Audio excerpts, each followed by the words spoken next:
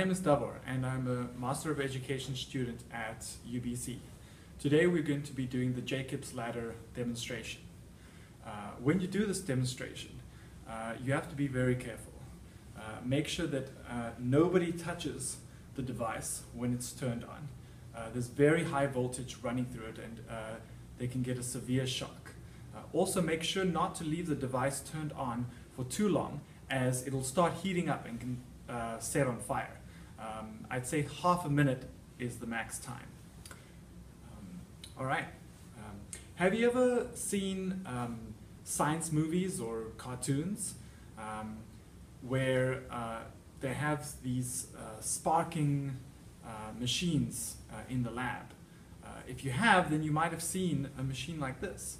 Um, it's called a Jacob's ladder, and it's been used in Hollywood for many years uh, to make science labs look really cool. So let's see how it works. All right, I'm turning it on.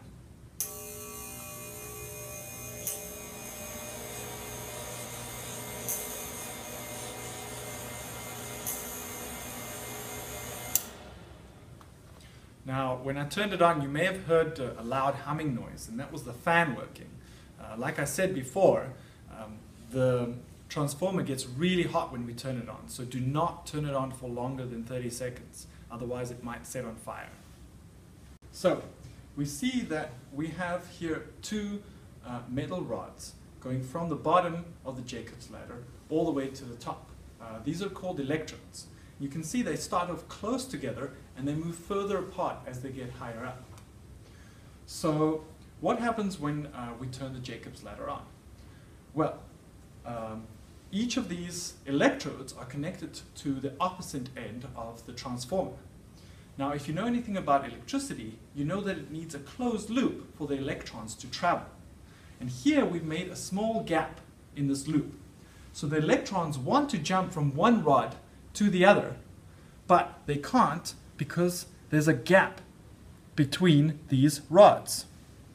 Um, so what happens? Well, remember that the transformer increases the voltage greatly from 120 volts to 17,000 volts. And when we have such a high voltage, the air between the two rods, which is an insulator, and it's stopping the electrons from going, the air is ionized by the large potential difference.